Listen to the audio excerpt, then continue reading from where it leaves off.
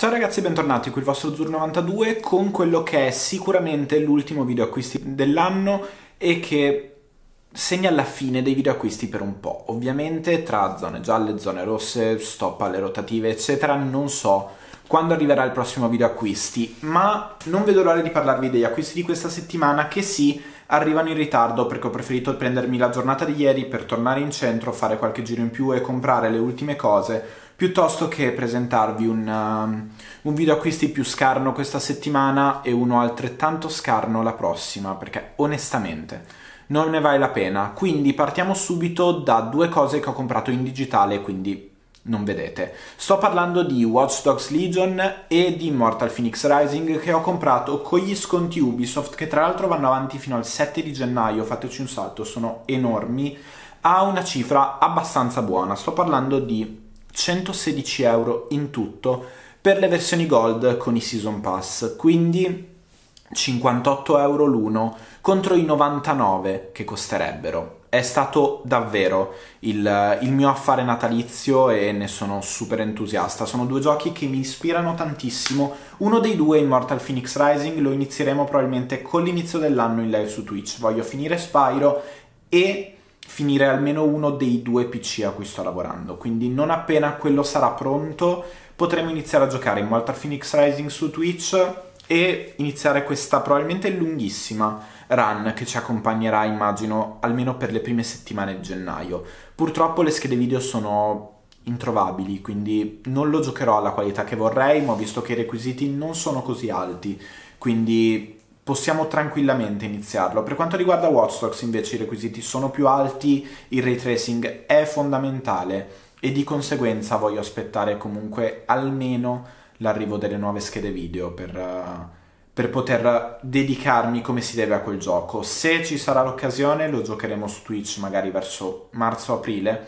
quando il mondo si spera torni a scorrere come si deve e le cose si possano comprare perché a quanto pare nessuno vuole i miei soldi oppure me lo giocherò per i cazzi miei e arriverà semplicemente una recensione quando lo avrò giocato abbastanza, ma di questo avremo modo di parlare in futuro. Invece, sempre in ambito videogiochi, lo avete già visto, ma ho comprato la Collector Edition di Cyberpunk, non ve la faccio rivedere da zero, assolutamente non ne vale la pena, la statua è bellissima, la Collector Edition è bellissima, il gioco è una merda. No, il gioco è bellissimo, se potete permettervi di giocarlo o se come me non l'avete prenotato con un anno e mezzo di anticipo su una console per cui hanno fatto uscire una versione orribile che assolutamente non vale il suo costo. È un sacrilegio quello che hanno realizzato ed è assolutamente una truffa, chiamiamola col nome che merita. Ovviamente ricomprerò il gioco e lo giocherò su PC sempre quando le schede video saranno disponibili, eccetera, eccetera, eccetera, ma anche quando troverò un'offerta adeguata, perché non ho alcuna intenzione di pagarlo a prezzo pieno dopo essere stato truffato in questa maniera. Nonostante questo, però, guida in Collector Edition di Cyberpunk. L'avevo prenotata anche lei un anno e mezzo fa, è bellissima e non mi pento di averla comprata, sono incazzato nero con CD Projekt Red, ma non posso dire che il lavoro che hanno fatto a livello di artwork non meriti un acquisto del genere o l'acquisto dell'artbook che abbiamo visto in uno degli ultimi video acquisti o la Collector Edition.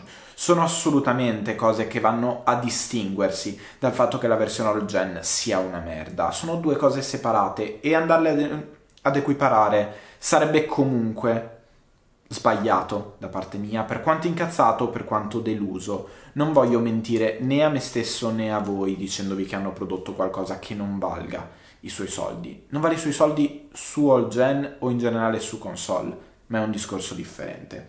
Proseguiamo poi con il primo regalo di Natale che ho scartato, ovvero la statua gem di Rookie e Renamon. È bellissima, la cercavo da anni, questa è uscita per la prima volta nel 2016, è andata esaurita, non l'ho più trovata se non in quelle versioni super fasulle di AliExpress, per cui non investirei mai un centesimo, e l'hanno rimessa in vendita alla fine di ottobre Un'amica me l'ha regalata per Natale, è meravigliosa e sono felicissimo finalmente di averla. Sono i miei due personaggi preferiti di Digimon Tamers, che come alcuni di voi sapranno è la mia serie preferita di Digimon, quindi davvero è qualcosa che sono felicissimo di poter finalmente esporre nel mio studio. Proseguiamo poi con i Lego e con i Brickets di The Child e The Mandalorian. Sono usciti tipo ad agosto, non li avevo ancora recuperati. L'ultimo giretto che ho fatto in centro ho pensato di prendere anche questi. Sono qualcosa di inutile perché stanno uscendo un milione di brickets e non riuscirei mai a stare dietro a tutti e ne ho un esercito lì dietro, non so se li vedete bene e non so nemmeno dove infilarmi questi. Però è The Child, è il Mandaloriano, è uno dei prodotti migliori che Star Wars ci sta dedicando negli ultimi tempi e li volevo. Quindi vi lascio 30 secondi al montaggio di questi e poi torniamo a parlare di fumetti.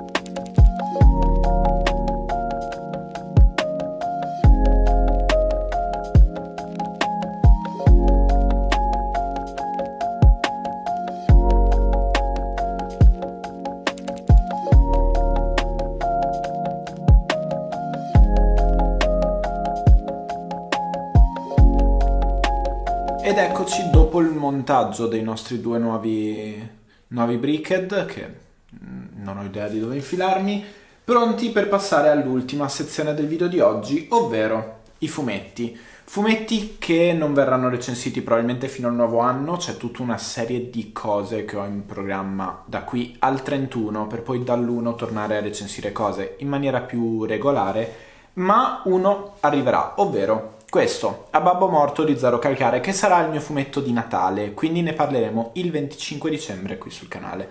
Non ho idea di che cosa tratti, cioè visto così mi dà quella cosa da canto di Natale in versione, in versione zero, ma non ho assolutamente guardato nulla al riguardo. Volevo solo un fumetto a tema natalizio da portarvi per il 25 dicembre, quindi eccolo qui. Passiamo poi, no, lo appoggio qui, a tutto il resto degli acquisti più o meno validi, più o meno curiosi, più o meno discutibili. Cominciamo con Outer Darkness e Zoo. John Layman, autore di entrambi, fa questo crossover completamente fuori dal mondo delle sue due serie. Chu è una serie che assolutamente tutti mi hanno consigliato e io non ho ancora avuto modo di iniziare. Outer Darkness è una serie di cui spesso abbiamo parlato qui sopra, amo tantissimo, che amo tantissimo ma che al momento non ha una conclusione. Questo è etichettato come volume 3, ma in realtà non è una conclusione, non è nulla, è semplicemente un crossover tra le due serie. La conclusione di Outer Darkness al momento è assolutamente MIA e non lo so. Spero davvero potremo vederla perché è una serie assolutamente validissima che merita una degna conclusione. Proseguiamo con Zed, terza parte della collaborazione tra Marvel e League of Legends. È un fumetto che mi incuriosisce perché sì, sono molto curioso per quanto riguarda la lore di League of Legends che quest'anno, complice la pandemia, ho riscoperto e mi ha, mi ha di nuovo infossato completamente, ma che finora non mi ha soddisfatto. Questa collaborazione Apre sì qualche porta sulla lore, ma di contro non è a livello qualitativo che mi aspetterei da League of Legends e in generale da qualcuno che si fregia dell'etichetta Marvel. Mm, non sono all'altezza, assolutamente, e spero davvero che questo volume segni in qualche modo un cambio di rotta per questi fumetti. Nel frattempo hanno rimandato il, il videogioco di mm, Ruined Kings al 2021 e non a inizio 2021, molto più vaghi, molto più lunghi come tempi e ancora una volta la mia speranza di, di abbuffarmi della lore di League of Legends viene, viene spenta così, con cattiveria.